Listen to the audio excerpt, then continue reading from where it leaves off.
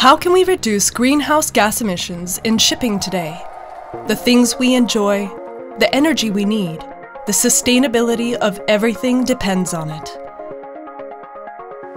As a bunker service specialist, we strive to make emission reductions feasible for our customers today.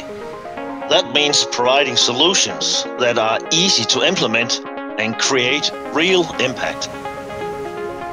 Now, a new low emission marine fuel is entering the market Neste Marine 0.1 co processed.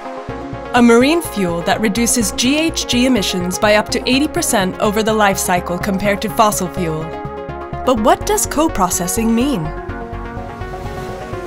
Co-processing means that we add renewable raw materials into the conventional refining process. And this results in an end product with a composition similar to conventional marine fuels, while reducing greenhouse gas emissions. As a shipping company, it is important for us that switching is easy. The solution must work with existing engines and preferably without comprehensive modifications. And it must result in firm reductions of greenhouse gases and CO2. The impact on GHG is real.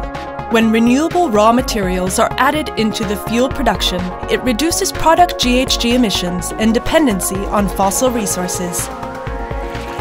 Neste we have vast experience in sustainable solutions to reduce the emissions of our customers in road transport and aviation. And today we are excited to continue this story with co-processed marine fuels. The things we enjoy, the energy we need, steps towards a carbon neutral world can be taken today. Change. Change. Change finds a way when we work together. Neste Marine 0.1 co processed. Available now.